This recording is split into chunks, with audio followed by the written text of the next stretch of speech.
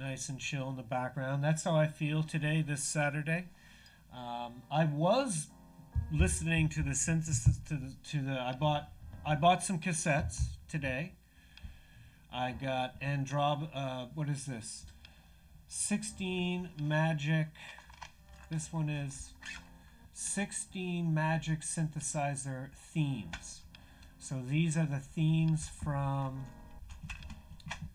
Miami Vice, A View to a Kill, The Eve of War, E.T., The Unknown Man, Axel F., Killing Fields, Chariots of Fire, State of Independence.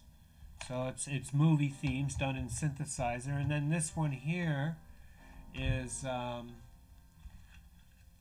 synthesizer greatest hits on chrome dioxide tape. Ooh. This is the theme from Antarctica. Um, oh, this is just these. These are not movie themes. These are just strictly. Oh, there's one Chariots of Fire. Did I see Chariots of Fire here? Yep, I did. Oh.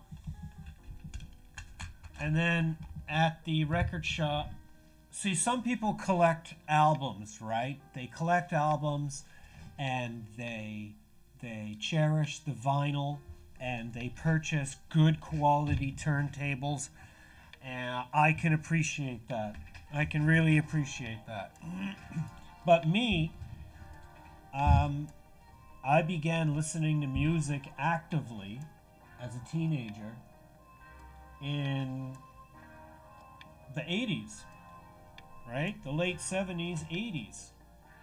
In 1980, I would have been 11 years old in 1980. And uh, so it was about cassette tapes. That was kind of the new thing.